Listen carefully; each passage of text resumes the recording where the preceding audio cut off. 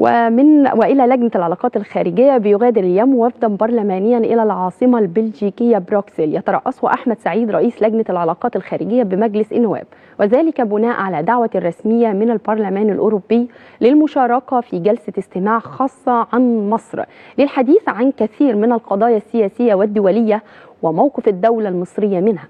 وقال أحمد سعيد رئيس اللجنة أن جلسة الاستماع الخاصة بمصر من المنتظر أن تعقد يوم الثلاثاء المقبل مشيرا إلى أنه سيتلو كلمة مصر خلال مدة تقدر ب 15 دقيقة ثم بعد ذلك سيتلقى الوفد أسئلة عن مصر وعن علاقتها بالبرلمان الأوروبي لافتا إلى أن الوفد جاهز للرد على كل الأسئلة وأضاف سعيد أن كلمته التي أعدها تتضمن الحديث عن الأوضاع في مصر.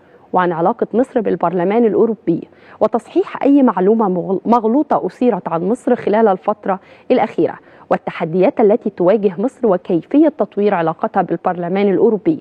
هذا إلى جانب عدد كبير من القضايا الهامة الموجودة على الساحة السياسية حالياً.